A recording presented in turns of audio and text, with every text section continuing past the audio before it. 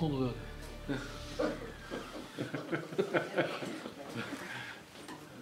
Wat hij net, wat hij net zei. Ja. Een goede koper allemaal. Nee, die, die ruimte onder de boom. ja, er zit die ruimte onder de boom. Dit is eigenlijk precies wat je net vertelde. Ja, nou, nou ja. Ja? Ja. Ja, kijk, bij die andere zat er een stukje bevestiging van het dode hout tegen de boom aan. Dat zit hier dus niet, hè? Ja, maar qua vorm. Maar qua vorm, ja, oké. Vind je het mooi? Dit is niet mooi. nee. Dit is precies je vertelde. Nee, nee, nee, nee. Hier ontbreekt namelijk het dode hout. En dat is een stuk dus in de compositie. Ja, maar En dat geeft gewicht. Het dode hout aan de linkskant van de boom geeft zwaarte aan de boom van de linkskant. En dat ontbreekt hier. Wel die ruimtelijke werking is er. En de beweging gaat naar rechts toe. Ja. Het topje is iets naar links gezet. En die krechtentak is hetzelfde gevormd als die tak. Bijna, ja. Eh, nou, het zit er heel dichtbij. En hier heb je je open ruimte. Vind je hem in balans? Nee, die boom is niet in balans.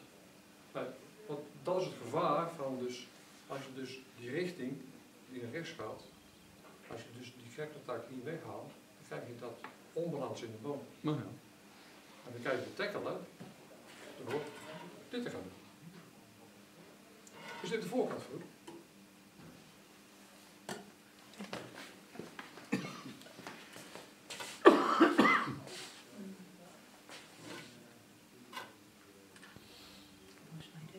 Deze kant voor. En wat is voor u de karaktertak? Ben je dus ook tevreden mee? Ja?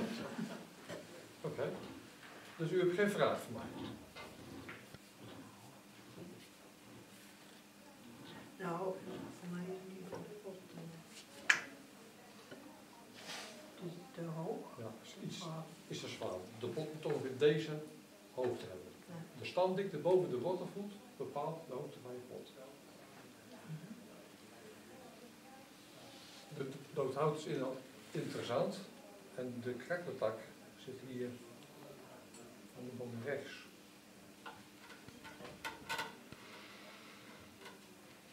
Vindt u dit niet beter?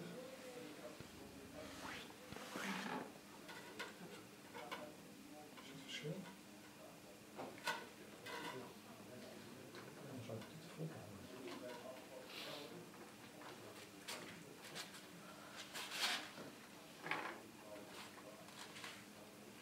En deze dan verzakken. Dat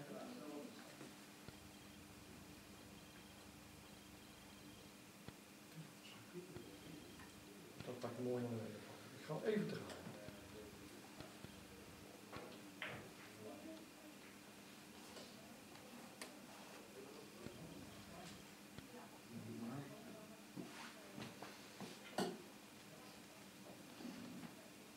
En dan de hoofdrol voor u is de shari. Mhm. Ik denk dat het houdt er nog bij. Dan baseer je dan die voorkant op.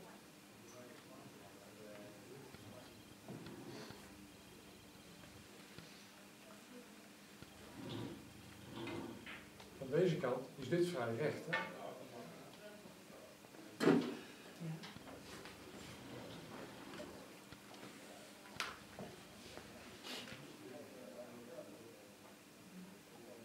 Als je dit is voorkant maakt, krijg je hier beweging.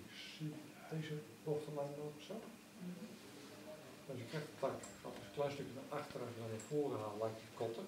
Zoals een nieuwe bochtlijn. En je dit, staan we tegen de tak in. Tegen zou, want die zit hier hè. Die zou ik hierheen brengen.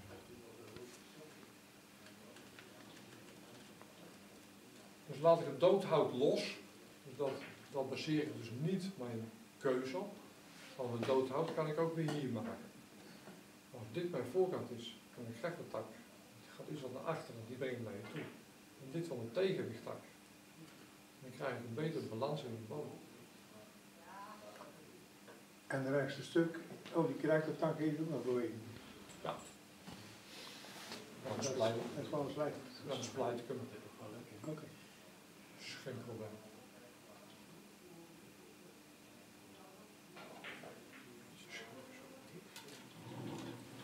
Maar krijg je die dan ook zo naar beneden? Deze? Ja, kijk. Dat is geen probleem. Nou, dan is dit een minder groot probleem, die bocht.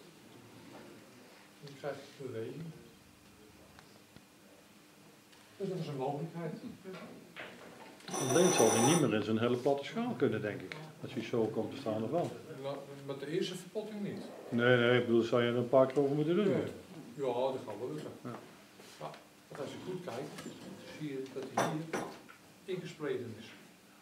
Dus tijdens een verpotting kan je dat even doors, doorsplijten nog. Deze wat naar voren halen, Mhm. hoger halen. Dat was werk. Dat is de realiseren. Ja? En dan, de pot is dan voor later zo, maar uiteindelijk ga je dus naar een pot toe, met ongeveer deze hoogte.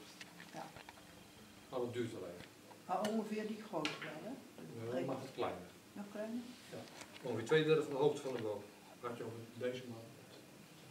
Dus zeker 5, 6 centimeter kleiner dan, dan deze. Dat zou ik doen.